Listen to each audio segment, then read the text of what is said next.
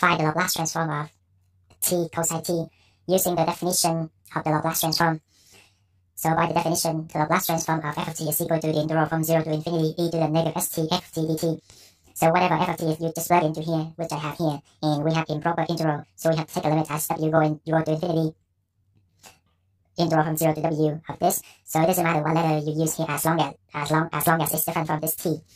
So before I keep going, I can give you a warning ahead of time that do not skip any part of this problem. I highly, highly suggest you to watch all the way through the end because this is a tricky one. If you if you skip any part of it, you won't understand it and you will lose track of it. So please watch all the way through the end and do not skip any part of it. Alright, go back to this one. So we have the limit of this one, and to integrate this, we are going to integrate it using integration by part method. So let u.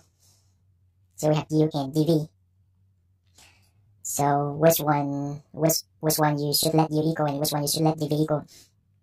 So you have to do, you so you have to let u equal the right one in order to get the correct answer. If you let u equal different, you could let u equal one of these, but uh, only one of them will give you the only one of them will give you the answer. So I'm gonna let u equal t, and dv equal e to the negative st cosine t dt. Okay, so du du equals dt. Take the integral of this one. So the integral of this one, we have to use the integration by part method again. It's a little bit tedious here. Uh, let's see where you can work on it. Okay, let me work it here.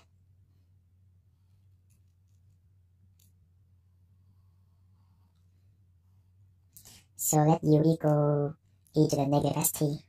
Then du equals negative se to the negative st dt. Okay? dv equals cosine t dt. Then v equals sine t. Alright? So the integral the integral of this one, e to the negative st cosine t dt is equal to e to the negative st sine t minus minus plus integral of uh, s e to the negative st sine t dt. Okay, so this is the, the answer for this integral, which is here, but we still have the integral, so we have to get rid of this integral.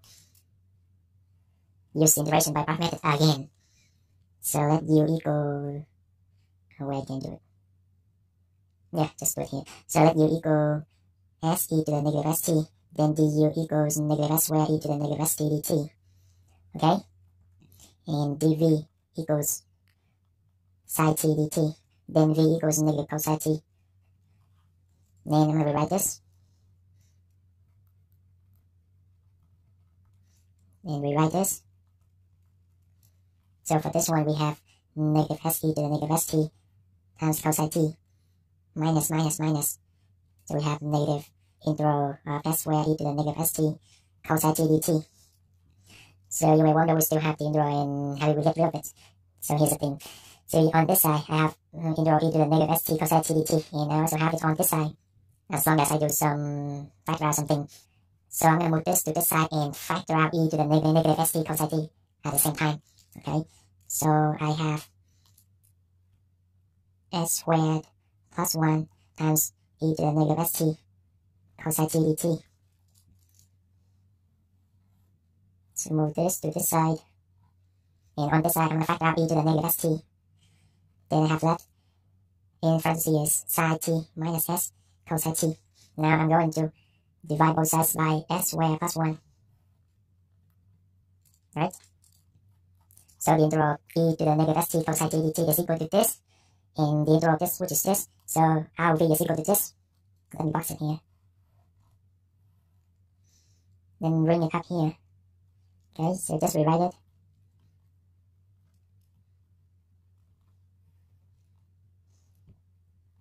Alright, so we, we haven't touched anything. We haven't touched this yet.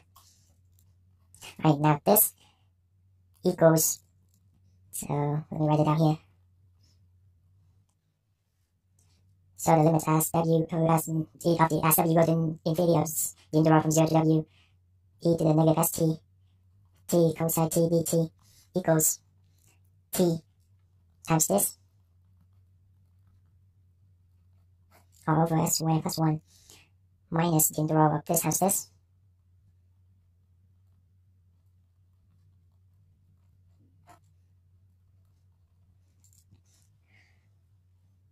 Okay, now for this one, I'm going to split this into two integrals. So I have, so rewrite this. Minus, distribute this, I have to integral from 0 to w e to the negative st sine t dt over s squared plus 1 minus minus plus 0 integral from 0 to w e to the negative st s cosine t dt over s squared plus 1. Okay, now we have two integrals here and we have to somehow get rid of these integrals. So for this one, let me work on a separate sheet. Let's use this one.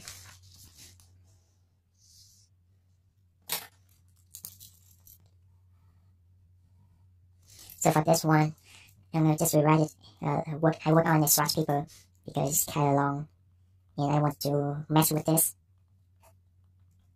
So the integral of this one, to integrate to integrate this, we're going to use the integration by part method. So let u equal e to the negative st over s squared plus 1. And dv equals oh, negative. So I carry the negative as well. dv equals sine t dt then du equals s times e to the negative st over s squared plus 1. So bring back the exponent negative s mm, times negative, which is s. For this one, v, the integral of sine t dt is mm, equal to negative cosine t. Then this equals negative e to the negative st, uh, positive cosine t over s squared plus 1 minus minus, which is positive integral of e s e to the negative st cosine t dt over s squared plus 1. So s squared plus 1 is just a constant because uh, we integrate with respect to t, so only t is a variable. Now, now for this one, we have to integrate this one more time.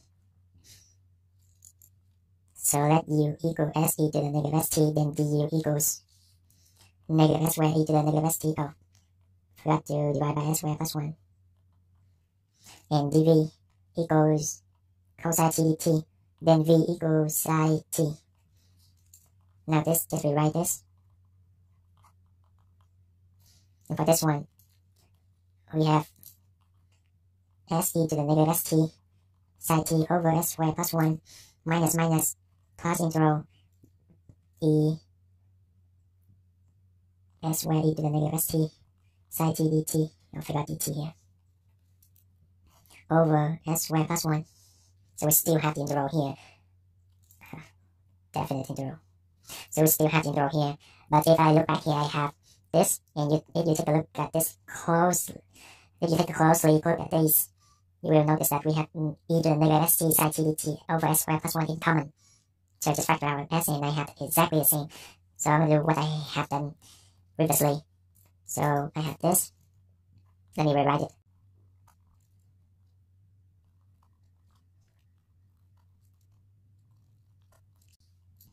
So I'm gonna move this to this side and factor out integral of, of e to the negative, negative st sine t dt over s plus 1.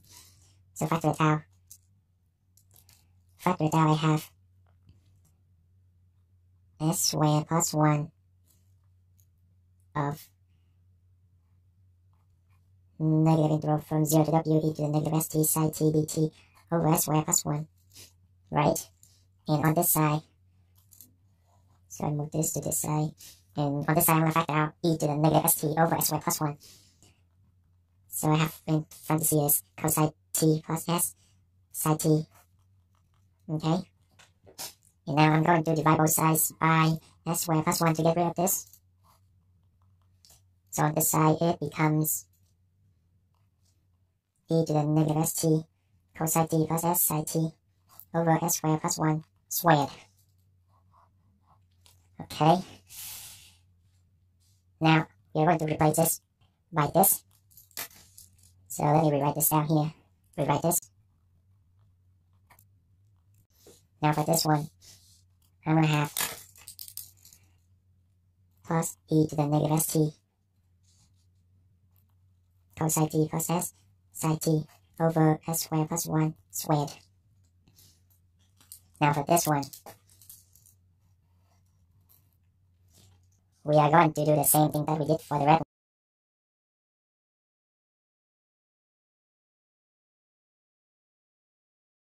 Because the steps are similar, so I just go over it real quick.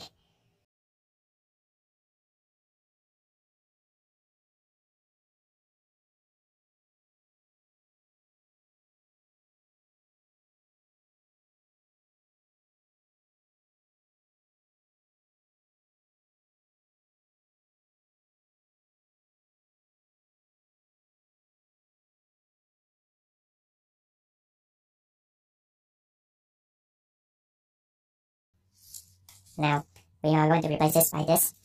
So, plus se to the negative st sine t minus s cosine t all over s squared plus 1 squared. Alright, we're almost there. And we, and we evaluate from 0 to w. Okay.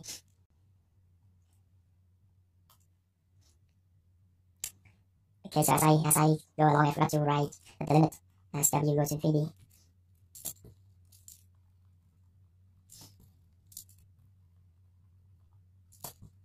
So we do need to have the limit as w go to infinity, limit as w go to infinity, of all these. Now plug in the limit, plug in w, I have w times e to the negative sw sine w minus s cosine w over s squared plus 1 plus e to the negative sw cosine w plus s sine w over s squared plus 1 squared plus s e to the negative sw sine w minus s cosine w over s squared plus 1 squared minus plug in 0 I forgot the limit again. Minus bloody 0, it has 0. Plus e to the 0, which is 1. Cosine of 0 is 1. Sine of 0 is 0. S e to the 0, which is s. Sine of 0 is 0. Minus s over s squared plus 1 squared. By the definition, for the Laplace transform to exist, it has to converge. So these already converges. So these already converge to a, these already converge. But for these, which multiplied by w or e to the negative sw. We'll know if converges or not, and we want it converge. So to make these converge, we need to have the limit of e to the negative infinity. Why we need e to the negative infinity? Because the limit of e to the negative infinity is equal to 0 and it goes to a number that converges. And the exponent goes to negative infinity when s is greater than 0. It's the same for these exponents. So when s greater than 0, we have e to the negative infinity and the limit of e to the negative infinity is equal to 0. So it converges. Same for this and same for this. And our final answer is equal to so negative uh, inside here I have 1 minus s squared over s squared plus 1 squared. And I'm going to distribute the negative side into the parentheses out. So I have s squared minus 1 over s squared plus 1 square for s greater than 0. Okay, so this is your so this is your final solution. That's it.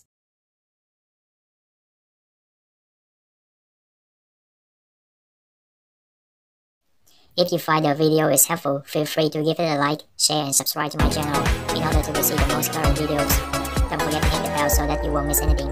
I'll see you next time.